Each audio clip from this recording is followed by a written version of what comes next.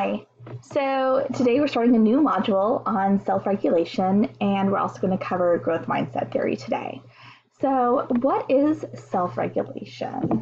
Um, self so our guiding questions today are what are the models? Um, how does it apply to classroom practice? How um, is self-regulation related to growth mindset and what research is, supports growth mindset?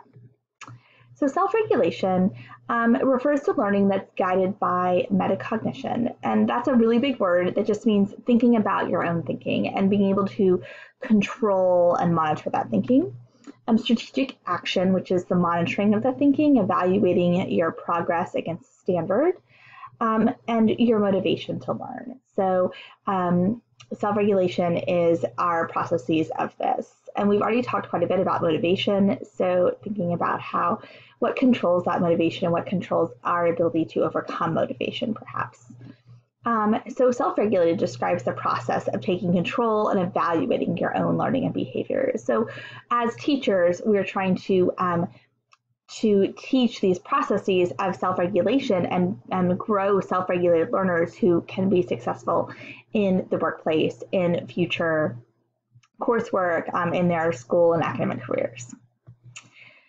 So we're going to look at several models of self-regulated learning, um, which has, which this is really a field that's grown a lot in the last um, 20 years or so. We're going to look at Zimmerman's sociocognitive perspectives, Boekaerts' dual processing model, Lynn Hadwin's metacognitive SRL model, Pintrich's motivational model, Efklides' metacognitive and affective model, and Hadwin, Järvelä's, and Miller's socially, socially shared regulated learning model. Know that sounds like a lot, um, but then really these models um, really interact with each other, build on each other, and again look at self-regulated learning from different perspectives. Um, so let's look at Zimmerman's model, um, which is a socio-cognitive perspective, or at least cyclical model. Um, we have the performance phase, um, which is the self-observation, self-control phase, and then we have where we're looking at task strategies, help seeking, um, time management, interest, incentives, self consequences, metacognition, self reporting. This is where we're doing things. Um, then we have this, this is when we're doing the act of self regulation. Um, then we have the self reflection phase. This is where we are um, thinking about how well we were able to regulate ourselves. Um, we're evaluating, we're deciding if it, that causal attribution, the locus of control, um, was this um, something we could have controlled better, or was this something that was luck or our teacher? Um, were we satisfied? Or were we satisfied? Um, were we? do we have an adaptive or defensive response? should we? And then that leads us to um, our forethought phase before we go into the performance phase, thinking about our goal planning, our strategic planning, and as we evaluate ourselves, we might be planning for the future.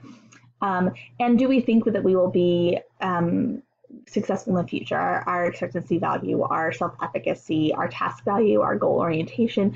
What are our goals? Um, are they performance based or are they, um, or uh, yeah, are they performance based goals? Are they about um, trying to reduce our risk? So, on all of these work together. So, as I set goals, then I can um, do some more self regulation, which would lead me to more self reflection, which would lead me to more forethought, and they and these all go. Um, these are all reciprocal. So this is this is really the simple one of the simpler models of self regulation. I think it makes a lot of sense, and as we start thinking about regulation of um, of our own thought processes. Um, Boekaerts' dual processing model really thinks about um, the difference between affect, affective goals and motivational goals um, and our cognitive goals um, and our use strategies. So um, we start off with this growth pathway and we use these metacognitive deep thinking strategies when we um, when we feel like our goals are being triggered and that we have to motivate ourselves outside of a sense of well-being.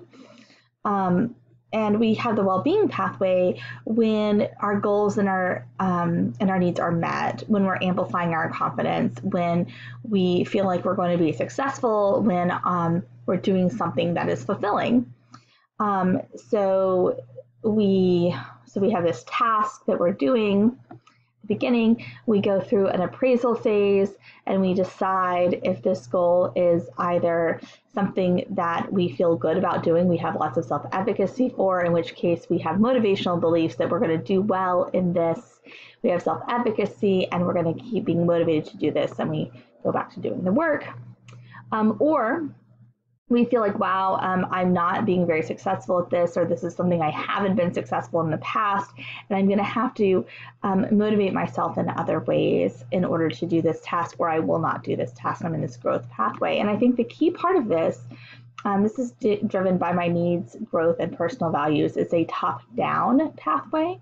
This one is a bottom up pathway. I'm doing this strategy to prevent being damaged, to prevent a mismatch between my personal goals and my task goals. So I might not be motivated to do well in math. I might have experienced a lot of, um, you know, a lot of failure in math, but I need to to have some sort of strategy to, to preserve my sense of self worth. Um, but then but then I can switch between these two growth and well-being pathways. I might start off in the growth pathway and go to the well-being pathway. I might start in the well-being pathway and go to the growth pathway throughout the task, and that's guided by our emotions um, and how I'm feeling about the task.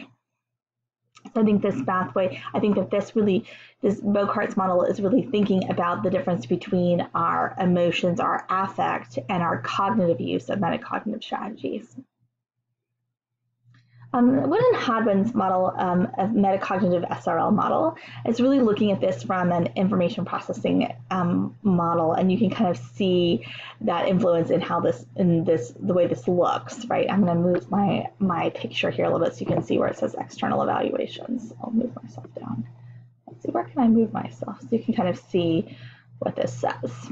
So um, so what you can see here is we have our task conditions here and our cognitive conditions. So this is kind of what the task is and how I feel about the task. Um, we have our external evaluations. Um, we have the different components of the task within our cognitive system, and we have our performance at the end. So let's take a deeper dive here. Um, okay, so if I do that, let's see, a deeper dive. Uh, so we have our products. and this is um, really, with everything that we do, we have to go through this process of defining the task, making goals and plans, um, figuring out how we're going to, what tactics we're going to use, and then adapting those tactics. Um, and we do that um, with the facets of our task. Um, so for each task, there's different facets, of, and it, it follows this acronym COPES. So the first one is a C for conditions. Up here are the conditions of the task, the things that are external to us. We also have O, the operations, how we're going to um, approach the task. We have the products, um, our cognitive evaluations of that product, and our ability to do that, and the standards that we're going to hold ourselves against to know if we've met that standard. And that leads us to our performance. And all of this is really how we're monitoring the task. So all of this all of these pieces are how we are monitoring the task and leading to our own performance. And it's all influenced also by these external ex evaluations of how other people are evaluating our tasks as well. So you can kind of see how all of these things are related to um, to our to our both our task conditions, our cognitive conditions of the task related to our products, and it's all interconnected. Um, Pintrich's motivational um, mo model looks at the four phases of motivation um, in these four areas for regulation. So the first one is our forethought, planning, and activation. So remember that that's really similar to the first theory we looked at, right? We have this forethought phase where we're planning um, our tasks. In a cognition area, we're setting goals um, and knowledge activation. We're thinking about what we know. Um, we're motivated by our goals, um, our adoption of whether or not we're thinking about our performance um, or comparison to others, um, our judgments of, of, our efficacy in completing, our task value, our interest, right? And we have our behaviors, the time and effort we're putting into planning. Um, we're planning also for our self observations here, and we're perceiving the context of the environment for which we will be doing this task. Then we're monitoring our progress um, throughout the task. So we're aware of our cognition, we're aware of our affect and motivation, we're aware of our effort, time, our need for help, and we're monitoring um, our the context that might be changing throughout the task. Then we're, we're taking control. We're um, in our cognition, we're selecting and adapting our strategies for learning as we go through the task. Um, we're also selecting and adapting our strategies for motivation. We're observing our behavior and adjusting our effort. And then we're changing and renegotiating the task. We might even be choosing to leave um, or change the context for which we're doing the task. And then finally, we're reacting and reflecting it after we complete the task. We're making um, judgments about the attribution. So, do we think that this was our fault or our teacher's fault, or was it luck, right? Um, we're having um, an emotional reaction, uh, motivation, and attributions to our task. Um, we might be giving up or seeking help um, or our choice behavior. Um, and we are again choosing to evaluate, we're evaluating the task, we might be leaving the context, we're evaluating the context about what we might do in the future. So this motivational model is really our individual attempt to control our, our own avert behavior. So self-regulation is really about how we're motivated to change our behavior. Um, now we'll talk about Efklides' metacognitive and affective model. So we'll call this the MASRL model and it's really looking at um, how our affect um, relates to our metacognitive perspectives, which has really been a part of a lot of these, but I really want to look at this a little more closely. So we have person level tasks um, which really this top part up here. So we have this task that's influencing both of these. And this first one is, is our general abilities here.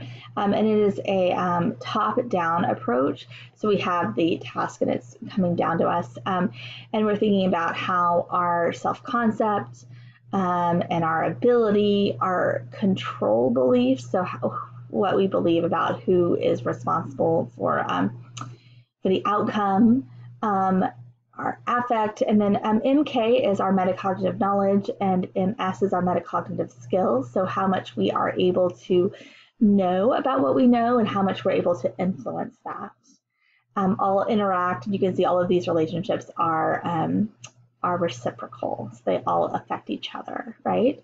Um, and then the task person level is really task by person level is really um, influenced by the task. So, how does the task influence the way that all of these things interact? It's really the micro, micro level, and it's a bottom up. So, it's about the task itself and going up to the person.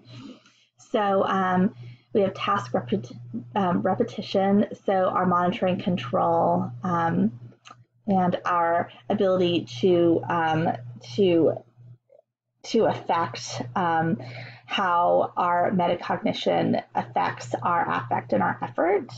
Um, we have the cognitive recognition of that, and uh, then that leads to our performance. So it's really about how the task, each task individually, um, will react to differently depending on the context of that task, depending on how it affects our affect. And I think that that's what Efklides here is really thinking about is is the interreact interrelatedness between those two things. And finally, we have Hadwin, Järvelä, and Miller's socially shared regulated model of learning, um, which it's really talking about how when we have self-regulated learning, we're not doing this all the time by ourselves, but but in a context of other people and that social aspect, which I think is is a really interesting take on this model. So we have um, our own SRL, our own self-regulated learning, which talks about how we perceive tasks, our goals and plans, our strategies, our adaptations to that task, um, which deals with our operations, products, evaluations, standards, conditions, all those things we've already talked of about SRL in general, right?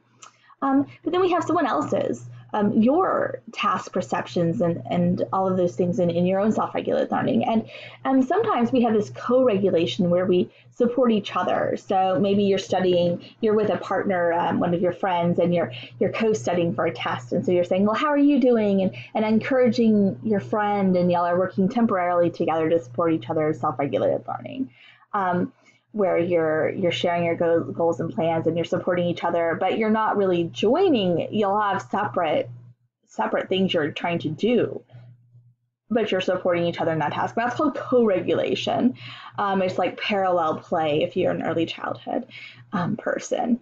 Um, but then that, but if we combine this even further, we can get to this shared regulation where you're, where we're talking about our task perceptions, our golden plan, um, our task strategies, and that shared regulation happens when you have common goals, when you have, when you're working as a team to complete a common practice, and how, and really this model is looking at how does this interact with each other? How do we develop shared regulation um, as part of a cooperative group, as part of a social interaction, and that thinking about the ways in which this shared regulation happens um, naturally in business settings and in schools, and how we as teachers might work to create shared regulation across a classroom or across group projects.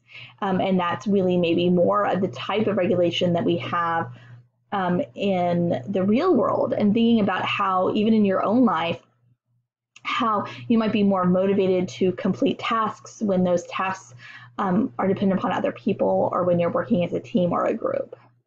Um, so again, that was a whirlwind tour of quite a few different types of, um, of models of self-regulated learning. And really, they all come back to how do we regulate our own learning? How do we take control of the learning that happens? And there are quite a few models here of how those interact. And um, the reading this week should also help support that. Um, so what benefits do we have for students in this applications to classroom? Why do we even think about this as, as teachers? And um, really, we we want students to be self-regulated, right? So that they can take control of their learning. If we can teach them how to be self-regulated in their learning, then this is a skill that will take them through college, through graduate school, through their lives, right? That we are not the dispensers of knowledge to them, but that they can learn on their own, that they can take control of that learning when they need to. So when we think about um, IPT and the information processing theory, what types of students will have the most difficulty with self-regulation and metacognition? And that's all happening in this executive control part, this metacognition part up here.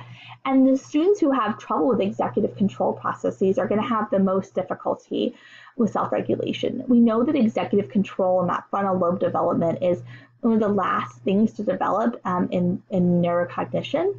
So our um, are developmentally delayed, our less mature students will have the most difficulty with this self-regulated learning, including students with um, um, disabilities such as um, attention deficit hy hyperactivity disorder and autism might have the most difficulty with self-regulated learning as well.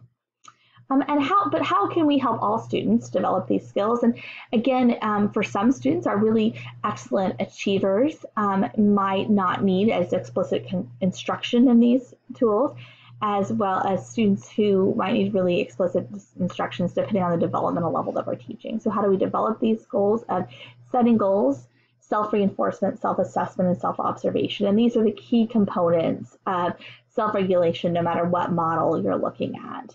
So how do we get students to do this? Um, we can have them set goals and think about long-term and short-term goals, right? Thinking about what are some things we can accomplish and what are the steps in order to to meet those goals, right? And that helps us with that, that motivation piece as well, right?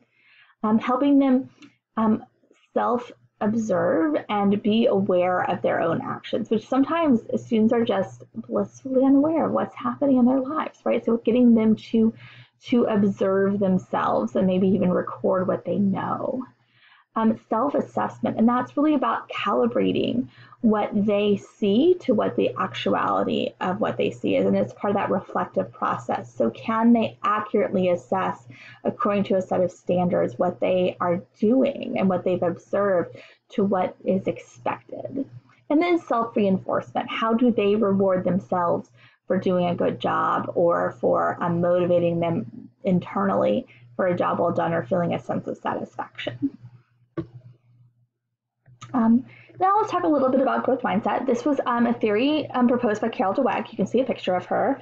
And it's really um, this attribution theory, um, locus of control, goal setting, and motivation. You can see she's published lots of books. This is a very, very popular um, theory that is really taken a lot of um, press lately. A lot of school districts are really all about growth mindset. And because it's become so popular in educational circles, I wanted to take a little bit of time today to talk about what the research really says and what it really means um, before we get too carried away with growth mindset. So, what is growth mindset? Um, it really talks about kind of two different mindsets um, or theories of intelligence that a kid, that a child could have. The first one is a fixed mindset. This idea that intelligence is fixed, that I will not get smarter no matter how hard I work. Um, that ability is a stable construct. Um, and then the second um, mindset, a growth mindset, believes that I that intelligence can grow, that I can get smarter if I work hard. And this is a little tricky, right? Because um, theoretically, actually, intelligence is pretty fixed, right? That, that you're born with some sort of ability, capacity to learn, right? Um, so I don't really, I, am going to quibble with the language here a little bit. And, and I think that while our capacity might be limited, our, our intelligence, ability might be limited, um, I don't think that our achievement is necessarily fixed, right? That I can become better at math if I work hard. I can become a better artist if I practice. I can become a better piano player if I practice. And that's true for everyone. Now, I could practice every day for 20 hours and still never become a master musician, right? I, I don't have a lot of talent in music, but I will become a better piano player if I practice. And uh, that's true for everyone, right? I may never become a brilliant mathematician, but if I practice at math and I work at math, I will get better at math. I will get better at reading if I practice reading. And that's what a growth mindset's probably really about is I can get better at something if I practice at it. Um, that was fun. So that's a growth mindset. Um, and what we Dweck studies really showed in a controlled setting, so in like a laboratory setting where she brought in people to to do something in a laboratory controlled, you know, controlled group, um, intervention group kind of thing, she found that students with a growth mindset, students who believe that they could get better at something if they practiced, um, spent more time persisting on difficult work, that they, they would take longer to do something to ultimately become successful at something if they worked harder at it, right? Um, whereas um, students with a fixed mindset would give up more easily and not ultimately be successful at the task. Um, then she found that she could do an intervention and teach growth mindset so that she could take people with a fixed mindset and turn them to have a growth mindset by teaching them about growth mindset, by giving them a growth mindset, by doing an intervention. And then those students who had that intervention done, who adopted a growth mindset, then when she gave them that task again, that was difficult, they would persist longer on that difficult work and ultimately become successful. So the idea here is that Dweck, what Dweck found was that having a growth mindset um, produced successful things in a class and um, for students that they would they would persist longer and be ultimately successful in hard tasks, hard academic tasks, and that we could teach people to have a growth mindset. That this was a, a factor we could change about people, and then even when we when we change that, that then they would have success. So that's really positive, and, and we can see why school districts, you know, um, all of a sudden got really excited about this and are all about growth mindsets. Let's teach our kids how to have growth mindsets. Let's teach our students to to um, to believe that they can get better at things if we work hard. And that sounds really, really great, right? That sounds like something that schools should be all about, that teachers should do, right? Um, but there's some things to keep in mind here. Um, the first one being, let's see, um, the first one being, my arrows, um, that when we tried to do some replication studies, right? So, so a key to good science is that when one researcher finds something, that other researchers should try to replicate that study. So in a more naturalistic, real world setting. So now let's go to classrooms. Let's go to real life, real world classrooms with actual children, not in lab settings. And what we found was that when teachers um, implement growth mindset interventions in a real classroom, that really there was there was a small change in student achievement, but it was really negligible. It was really, really, really tiny for improving students' actual GPAs, um, actual grades um, by doing this growth mindset. And really, and part of that might be is that no one really teaches fixed mindset. No one in the entire no there's there's very few teachers in the world who are going to say, well, you know, it's not going to matter how much you practice that math. You know, you're not going to get any better at it. No, that, that's really not an intervention. That that's not real. So so an emphasis on growth mindset, really and truly, we're probably doing a lot of that anyway, which is probably a good thing, right? But but but a huge focus on growth mindset then isn't going to make a huge difference in schools, probably in the real world. Um, so should this be basically schools wanted to make or want to make growth mindset to be this panacea, this magic bullet, this pill that's going to change the way schools work and that it's just going to solve all of our achievement problems if we can just convince kids if they work hard, they'll do great and they'll achieve at high levels. And I think there might be some problems with that, right? Um, one is that there are some real intellectual differences between kids. And if we ignore those and just say if you work really hard, you'll do better, it's not that kids, all kids will do better, but they all can't achieve the same levels. And that if we ignore the real differences between kids, that we're probably setting them up for failure and that we probably need to provide more supports as well. It's not all about hard work, it's also about the supports that we can provide for students and knowing that not all kids learn at the same speed. Um, so it could turn into a, well, you're just not working hard enough um, for a student who has a real um, intellectual or um, developmental disability um, or processing disorder, um, working harder, they're still not going to learn as fast, right? but I do think it's important to know that every kid can get better. So that that message, there's some nuance to the language that might be missing from a full tilt growth mindset um, approach, right? And it just might not have the huge benefits that school districts might be touting, right? Um, I heard um, a professional development that said growth mindset is the single most important factor in student achievement, and I'm like, that the research just doesn't support that, right? Um, things like socioeconomic status um, and and IQ are actually way more important to achievement than growth mindset. So we just want to be careful with our claims, perhaps. In any case, I'm, um, I want you to think about the role that um, growth mindset should have um, in schools um, and consider that for your own your own practice. And as you hear growth mindset in schools, what do you, what do you think? How do you think schools and teachers should be handling growth mindset? Um, so, what role do you think it should have in school curriculum and for teachers? And how will you approach it as a teacher when this is the professional development that you'll be asked to do? So um, as you think about these questions, um, you should be able to, to list some models of self-regulation and talk about how that applies to your practice as a teacher. Um, you can talk about how self-regulation and growth mindset are related um, and what the research is to support growth mindset theory. So I hope you have a great week. Again, if you have questions, please don't hesitate to ask me, call me, send me an email. I'm happy to answer your questions. And have a great week, guys. Bye.